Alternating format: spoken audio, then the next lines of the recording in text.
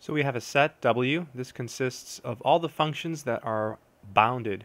So what does it mean for a function to be bounded? It means that there is a number m such that the absolute value of the function is less than or equal to m for all x and r. And we want to prove that this is a subspace of all functions. So recall that W is a subspace of V if we have three conditions. The first condition is that W is non-empty. Two, W is closed under vector addition. So is closed under vector addition.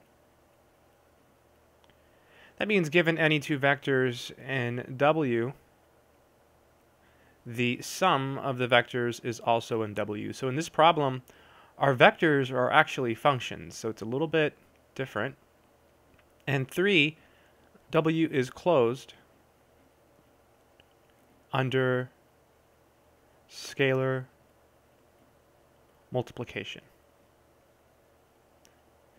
And what this means is that given any vector x in W and any scalar c in a field, here our field will be the real numbers, that we have a new vector, which is the scalar c times the vector. This is the scalar product, and that's also in W. So in order to do this problem, we carefully have to go through and just check all of these conditions. So proof. We first have to show W is non-empty. We have to think of a function uh, that's definitely bounded. Well, the zero function. So note, let's call it 0 hat from R to R given by, so this is the 0 function. It takes every x and sends it to 0.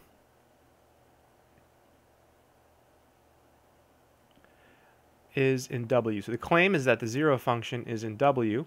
And the reason is if you take 0 of x well, you just get 0. So if you take the absolute value of that, that's less than or equal to, say, I don't know, 2 for all x and r. Why did I pick 2? Uh, it doesn't really matter what number you pick as long as it's non-negative, right? To satisfy this definition, you could have picked any number bigger than 0. So here, this is 0. So there's no issues there. So this shows that this guy is inside W, so the first condition is actually satisfied. Let me put a little 1 here to indicate that we've just done the first condition. Two, we have to show that W is closed under vector addition. So we have to take any two vectors in W, and we have to show the sum is also in W. So take any f and g in W. And now we have to show f plus g is in W. Well, before we do that, maybe let's go ahead and write down what it means for f and g to be in W. So then, there exists, well, we're going to have two different m's because we have two functions. So I'm going to use m1 and m2 in R such that, well, the absolute value of f of x is less than or equal to m1 for all x in R, and the absolute value of g of x is less than or equal to m2 for all x in R. So now we have to show that f plus g is there. So we have to look at the absolute value of f plus g. So then, the absolute value of f plus g of x, right, this is a new function, it's called f plus g. Well, this is equal to, by definition of function addition, f of x plus g of x. Then we have to use something um, from other math areas. It's called uh, the triangle inequality. This is less than or equal to the absolute value of f of x plus the absolute value of g of x. And we know something about the absolute value of f of x. It's less than or equal to m1. So this is less than or equal to m1 plus m2. And so all we do is we call this m, and we have it. And this is true for all x in R. So we have f plus g of x less than or equal to some constant.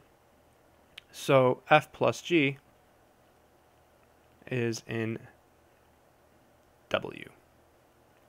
So that shows closure under vector addition. Now we just have to show uh, closure under scalar multiplication. So let's go ahead and do that, and then we're done. So 3, take any. Let's use f again. And w, I could have used the same one, but uh, I didn't. and uh, scalar c in the field of real numbers. Then as before, we go through the same game. We write down what it means for f to be in w. It means there is a constant m and r such that the absolute value of f of x is less than or equal to m for all x in r. Then, and now we have to look at the scalar product, cf of x. And we have to show that this is bounded. So this is equal to the absolute value of c times f of x. Well, the absolute value of a product is the product of the absolute values. This is c times the absolute value of f of x. And this is less than or equal to the absolute value of c times m. And this is for all x and r. So here we have our new m. This is our new constant, say m tilde.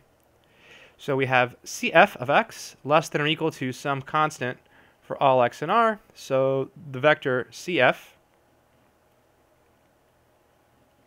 is in W. So I kind of rushed through that uh, really, really quickly. Um, and then, but hopefully it makes sense. And then, so therefore it's a subspace. Let me go ahead and write that down. So therefore W is a subspace. But hopefully uh, it made some sense. wanted to keep the video short. Basically, you just uh, check all three conditions very carefully. And uh, we did have to use uh, the triangle inequality uh, right here. Right, This was the triangle inequality, the absolute value of A plus B uh, is less than or equal to the absolute value of A plus the absolute value of B. But other than that, um, wasn't wasn't too bad. That's it.